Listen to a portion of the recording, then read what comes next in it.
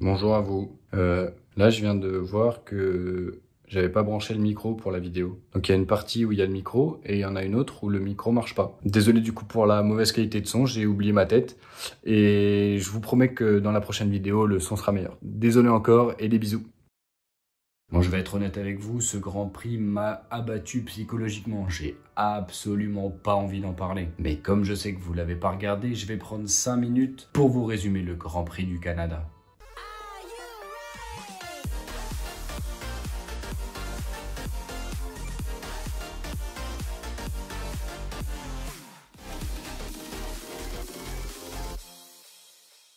Concernant les essais, les deux premières séances ont été dominées par Max Verstappen. Aucun partage n'a été possible, mais en EL3, il s'est fait surprendre par la pluie. Le samedi, une grosse averse est tombée et quelle surprise de retrouver Fernando Alonso en haut de la feuille des temps. Ce qui me réconforte un peu, c'est de trouver Gasly en deuxième position et Sébastien Vettel en P3. Vous en faites pas pour Alonso, impossible qu'il réitère cet exploit.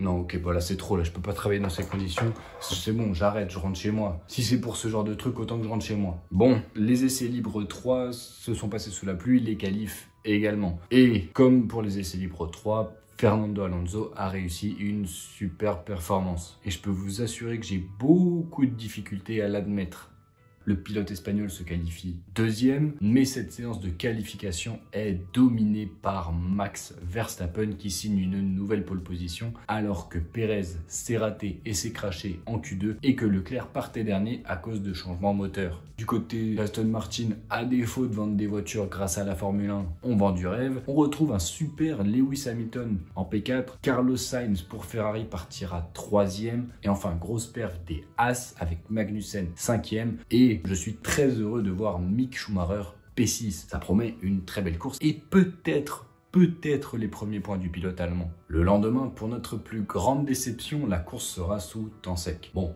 on peut peut-être quand même espérer voir une belle course. On aura un départ plutôt calme, les deux premiers virages se passent plutôt tranquillement. On n'a pas beaucoup de contact, à part le contact entre Magnussen et Lewis Hamilton qui ruine complètement la course du Danois. Mais pour Haas, vous en faites pas, Mick Schumacher est toujours huitième. On a des batailles un peu partout, surtout pour la deuxième place entre Alonso, Sainz et Hamilton. L'Espagnol trouvera la faille sur l'Espagnol, Sainz trouvera la faille sur Alonso. Et on a le premier coup de théâtre de ce Grand Prix qui arrive avec l'abandon du deuxième au championnat, Sergio Perez, victime d'un problème sur sa voiture et qui est obligé d'abandonner. La voiture de sécurité virtuelle sort alors et voilà que deux pilotes en profitent, Verstappen et Lewis Hamilton rentrent au stand pour changer leurs pneus et avoir un arrêt gratuit. On se retrouve alors avec Sainz qui mène le Grand Prix devant Fernando Alonso. Verstappen et Hamilton remontent petit à petit sur Alonso et Sainz et c'est là qu'on a la deuxième intervention de la voiture de sécurité parce qu'on a l'abandon de Schumacher. Moi, je, suis désolé, mais là, je suis, suis pas quelqu'un de méchant. Je ne vois pas pourquoi est-ce que le sort s'acharne comme ça sur moi et sur Mick Schumacher. C'est pas possible. Moi aussi, j'ai le droit au bonheur un jour ou l'autre. Il y en a marre. Ça suffit. C'est bon, stop. J'en ai marre. Cette fois, l'Espagnol Carlos Sainz en a profité. Après une trentaine de tours, Leclerc est remonté à la septième place, mais bloque derrière Esteban Ocon. Ferrari sentant que Leclerc est un peu en difficulté à cause de la vitesse de pointe très élevée de l'Alpine, se dit bon, on va l'appeler au stand, on va l'aider aussi de notre poche puisqu'il fait un super grand donc ce serait bête de le gâcher. Évidemment, Charles Leclerc rentre au stand. Évidemment, L'arrêt est raté. Évidemment, Charles Leclerc ressort dans le trafic à la 12e place derrière des pilotes mais extrêmement lents. Et évidemment, il va perdre du temps. J'ai l'impression que je vous fais des résumés toutes les semaines et qu'à chaque fois, ça se répète. C'est peut-être pas la canicule qui me fatigue, hein, c'est peut-être Ferrari tout simplement. Et c'est là qu'intervient notre petit moment Nutella du Grand Prix, quand tout à coup crash, non pas de Latifi alors qu'il était devant son public, ça aurait été la moindre des choses, mais bien de Tsunoda en sortant des stands, une superbe action tout droit dans le mur, un plaisir pour les yeux. Et c'est l'intervention de la voiture de sécurité qui regroupe tout le monde. C'est une aubaine pour Sainz puisqu'il était devant Verstappen. Il va pouvoir s'arrêter au stand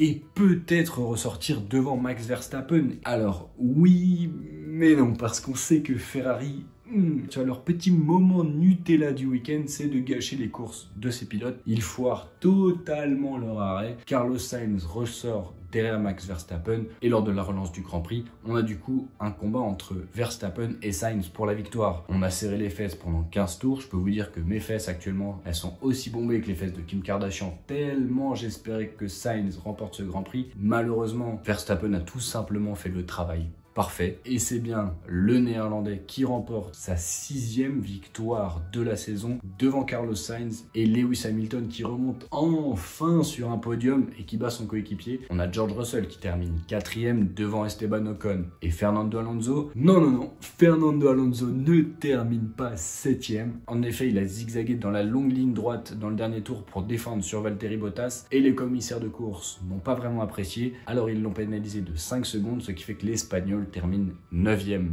Du coup, le 7ème, c'est Valtteri Bottas devant son coéquipier Guan Et enfin, le point de la dixième place est pour Lance Stroll devant son public. Ah, quel plaisant plaisir de revenir au Canada. Ça faisait deux ans qu'on n'avait pas eu une édition sur le circuit Gilles Villeneuve pour cause de Covid. Et ben, je peux vous dire quand même que ce circuit m'avait manqué. Il y a plein de façons de, se battre, de se dépasser, etc. On a vu également un très beau Grand Prix, même s'il n'y a pas eu de dépassement pour la victoire. Il faut dire que les défenses de Verstappen étaient tout bonnement impressionnantes. On a eu également la pluie qui est venue un peu perturber les qualifs et les essais libres. Dommage que Pierre Gasly ait eu son problème de frein parce qu'il aurait pu être beaucoup plus haut. Il n'a pas beaucoup de chance depuis le début de la saison, Pierre. Un peu comme Alonso, faut le reconnaître. Le prochain Grand Prix sera à Silverstone sur ce qui est tout simplement le premier circuit à avoir accueilli la Formule 1. On espère qu'on aura un très beau Grand Prix. Il y a souvent beaucoup d'usure de pneus. On va voir ce que ça va donner avec les pneus de cette année, les jambes 18 pouces. Si vous êtes friand de ne pas regarder les Grands Prix parce que c'est trop long, mais que vous aimez ce résumé, eh bien je vous invite